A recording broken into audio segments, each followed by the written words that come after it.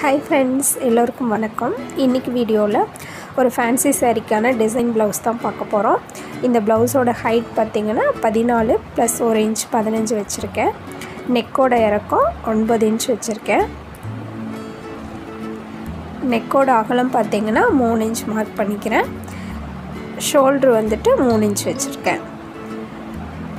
ஆம்கோல் வந்து ஆறு இன்ச் வச்சுருக்கேன். இந்த ப்ளவுஸோட அளவு பார்த்திங்கன்னா முப்பத்தி எட்டு இன்ச் அளவுள்ள ப்ளவுஸ் தான் இது.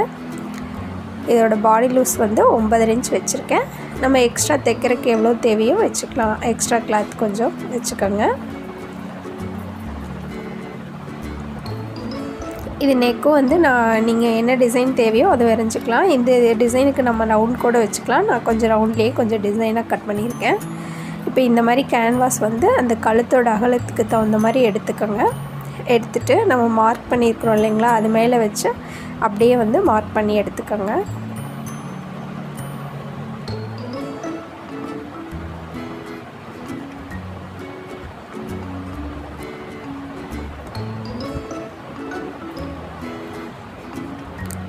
இப்போ வந்து இந்த கேன்வாஸ் நகராமல் இருக்கிறதுக்காக இந்த மாதிரி ஊசி வச்சு பின் பண்ணிடுங்க இப்போ நான் டிசைனுக்காக ஒன்றரை இன்ச் அளவுக்கு மார்க் பண்ணிக்கிறேன்.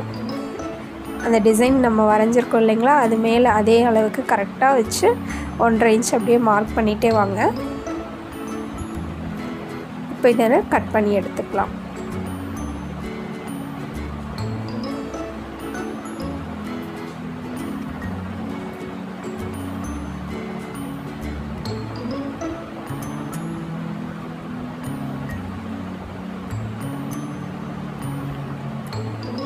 இப்போ நான் வந்து டிசைனுக்காக இந்த க்ரீன் கலர் கிளாத் எடுத்திருக்கேன். நீங்கள் என்ன கலர் வைக்கிறீங்களோ அந்த கலர் கிளாத் வந்து நீங்கள் டிசைனுக்கு எடுத்துக்கோங்க. இப்போ கேன்வாஸ் வந்து இதில் வச்சு அப்படியே அட்டாச் பண்ணிடலாம். இந்த மாதிரி அட்டாச் பண்ணிவிட்டு இந்த சைடு வந்து ஒரு அரேஞ்ச் விட்டு கிளாத்து விட்டுட்டு கட் பண்ணுங்கள் இதை இந்த மாதிரி ஃபுல்லாகவே கட் பண்ணி விட்டுட்டு நீங்கள் மடித்து தைக்கும் போது அந்த ஷேப் நமக்கு வரும்.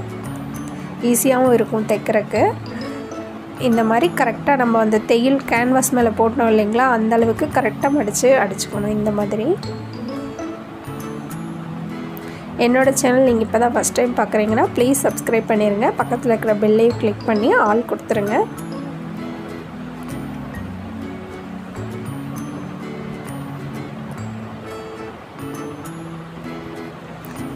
இப்போ வந்து இது இன்னொரு கிளாத் வந்து டிசைனுக்காக எடுத்திருக்கேன். இது பார்த்திங்கன்னா ரெண்டு இன்ச் அளவுக்கு நான் கட் பண்ணி வச்சுருக்கேன். உங்களோட கழுத்து அந்த இறக்கத்துக்கு தகுந்த மாதிரி நீங்கள் எவ்வளோ தேவையோ அந்த அளவுக்கு எடுத்துக்கோங்க. கொஞ்சம் எக்ஸ்ட்ரா கூட எடுத்துக்கோங்க. ஏன்னா நம்ம தைச்சிட்டு பத்துலேனா மறுபடியும் ஜாயின் பண்ணிகிட்ருக்கணும் அதனால் கொஞ்சம் அதிகமான கிளாத்தே எடுத்துக்கோங்க. நம்ம விட்டு விட்டாக இருக்கிறது எல்லாமே இந்த மாதிரி ஜாயின் பண்ணிக்கலாம். அதுக்கப்புறம் இதை அப்படியே வந்து ரெண்டாக மடிச்சுக்கலாம். ஃப்ரில் வைக்கிறதுக்காக தான் இது எடுத்திருக்கேன்.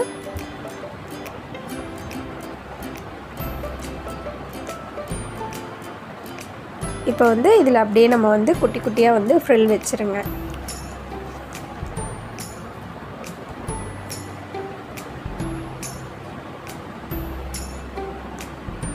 இந்த மாதிரி ஊசி வச்சு நீங்கள் ஃப்ரில் வைக்கும்போது இன்னும் கொஞ்சம் ஈஸியாக இருக்கும். ஒரே மாதிரியே இப்படி ஃப்ரில் வச்சுட்டு வந்துடுங்க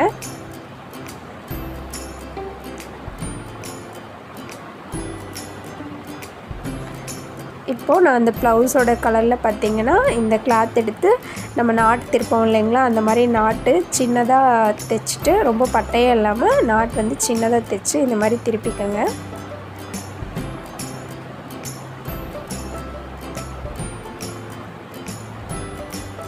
இந்த நாட் திருப்பும்போது நீங்கள் மெதுவாக இழுங்க. இல்லைனா உள்ளே இருக்கிற நூல் கட் ஆயிடுச்சுன்னா அப்புறம் நம்ம மறுபடியும் நாட் தைச்சு திருப்ப வேண்டியதாக இருக்கும். இப்போ நம்ம இந்த டிசைனுக்கு எந்த அளவுக்கு மடிக்கிறோமோ அந்தளவுக்கு வந்து நீங்கள் மடித்து வச்சு பார்த்துட்டு அதுக்கப்புறம் கட் பண்ணிக்கோங்க. நம்ம இந்த ஃப்ரில் வச்சுருக்கோம் இல்லைங்களா? அதுக்கு மேலே வந்து இந்த டிசைன் வைக்க போகிறோம் நான் வந்து இதுக்கு ஒன்றரை இன்ச் எடுத்திருக்கேன். கரெக்டாக ஒன்றரை இன்ச் வச்சு லைனாக கட் பண்ணிக்கோங்க எல்லாத்தையும்.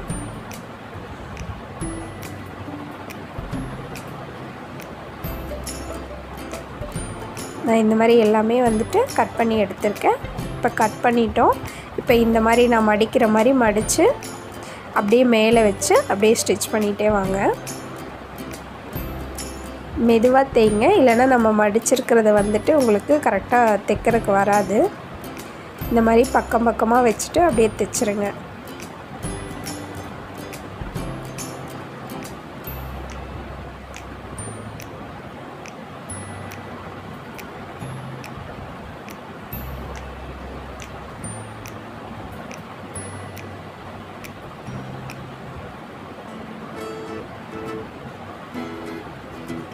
இப்போ நான் இந்த ப்ளவுஸோட லைனிங் வச்சு அப்படியே அட்டாச் பண்ணிக்கிறேன். நெக் வந்து நம்ம மார்க் பண்ணியிருந்த அளவுக்கு நான் கட் பண்ணி எடுத்துட்டு இந்த லைனிங்கை வச்சு அப்படியே நான் லைனிங் கிளாத் வச்சு ப்ளவுஸோட அட்டாச் பண்ணிக்கிறேன். இதை நார்மலாக எப்போ அடித்து திருப்புற மாதிரி திருப்பி அப்படியே ஃபுல்லாகவே அட்டாச் பண்ணிக்கோங்க.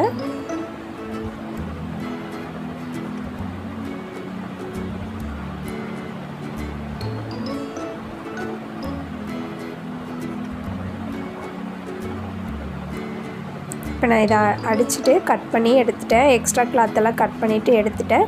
இப்போ வந்துட்டு லைனிங் பக்கம் நீங்கள் ப்ளவுஸ் திருப்பி வச்சுட்டு இந்த கேன்வாஸ் மேலே தெரிகிற மாதிரி வச்சு அப்படியே அடிச்சிருங்க.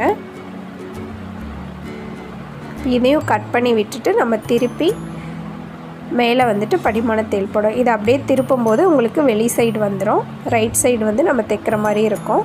இப்படி திருப்பி மேலே ஒரு தையல் போட்டுருங்க.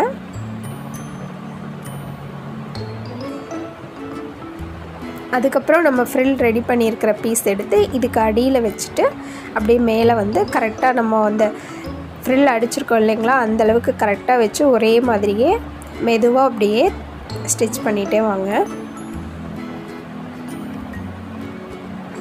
அந்த சேஃபும் நமக்கு மாறாமல் இருக்கணும். அதனால் பார்த்து மெதுவாக அப்படியே ஃபுல்லாக ஸ்டிச் பண்ணிடுங்க பாருங்கள் நான் ஃபுல்லாகவே அடிச்சிட்டேன். ரொம்பவே ஈஸியாக தான் இருக்கும் இந்த டிசைனு கண்டிப்பாக நீங்களும் ட்ரை பண்ணி பாருங்கள் இப்போ இதுக்கு மேலே வந்துட்டு நான் ஒரு அரை இன்ச்சில் அந்த கிளாத்துலேயே வந்து நான் நாட் திருப்பி வச்சுருக்கேன். இப்படி நாட் திருப்பின்ட்டு நம்ம இந்த மாதிரி வச்சு அடிக்கும்போது உங்களுக்கு பிசுறு வெளியில் வராமல் இருக்கும். கொஞ்சம் பார்க்கவும் நீட்டாக இருக்கும். நீங்கள் வேணும்னா லேஸ் கூட வச்சு இது மேலே இந்த சில்வர் கலரில் லேஸ் வச்சு கூட நம்ம ஸ்டிச் பண்ணிக்கலாம். இருக்குது ரெண்டு தையல் அந்த சைடு இன்னொரு தையல் போட்டுக்கிறேன்.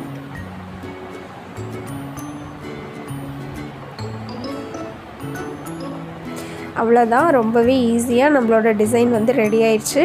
இந்த வீடியோ உங்களுக்கு பிடிச்சிருந்ததுன்னா லைக் பண்ணுங்கள் உங்கள் ஃப்ரெண்ட்ஸ் அண்ட் ஃபேமிலி கூடயும் ஷேர் பண்ணிக்கோங்க.